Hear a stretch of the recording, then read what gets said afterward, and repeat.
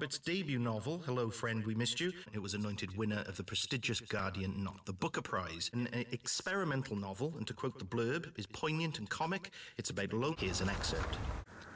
An extract Welsh novel of the year. Friend, we missed you. Well, I was completely knocked out by this. Um,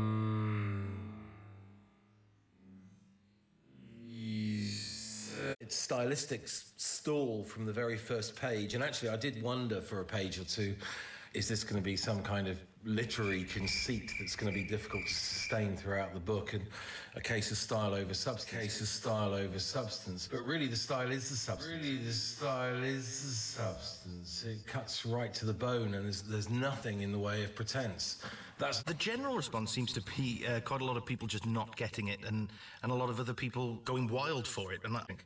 Uh, the same as Simon really. I, I read it in two sittings which is great. It does feel very millennial in its stylistic approach and I did wonder in that and it's written in a, the third person perspective which is really interesting from the get-go. I read it in a pretty short period as well and I want to go back and read it again because oversized cable knit sweaters. And and that's what's kind of beautiful about the book. It's not really the plot or it does have a cumulative effect doesn't it? You get it we are embedded in, in his point of view. Yeah I, I, I felt the same as you about that. Um, it reminded me the first time I read um, Douglas Coupland or um, Bret Easton Ellis. Uh, that, that could look back on this novel in, in future and say that was a really important moment in the development of modern Welsh literature or the modern Welsh novel